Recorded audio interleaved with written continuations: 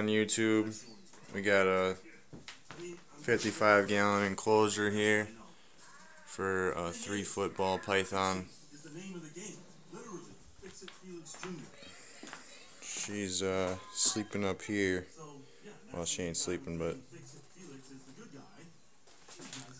she's chilling. Yeah, she's about 900 grams, uh, about a year and a half old. Real healthy. I just got her in the house here about a month and a half ago. Had trouble with the humidity at first. Um, obviously with these screen tops it all escapes so we got a bunch of stuff up here to keep in the heat and the humidity. I was gonna buy a fogger but it's like 150 bucks so I kind of went the generic way and got this going on. Just basic humidifier.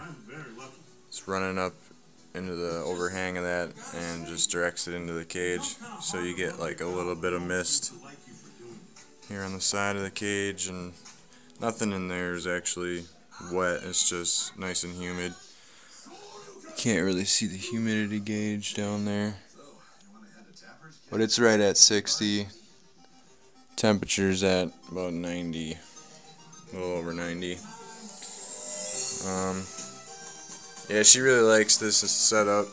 I mean, not that, you know, snakes can, oh yeah, by her, her name's Isis. You can see that. Not that uh, she can tell me, but, you know, if they're having them for a little bit, you can tell that they like certain enclosures better, or hides better than others by how fast they go into them and really get settled in instead of looking around forever for a place to hide. So this is what we came up with for her hide. It's like, uh, like the little log that used to cover her when she was way younger, but now it kind of goes inside. In there, it's like a, it's pretty much like her little house. It goes in there. She can go behind. She can go into her little washroom, bathroom, whatever you want to call it. That's all connected, and then uh, she can go up here and bask if she wants to. So, yeah, that's a 55 gallon enclosure with uh, jerry rig humidity.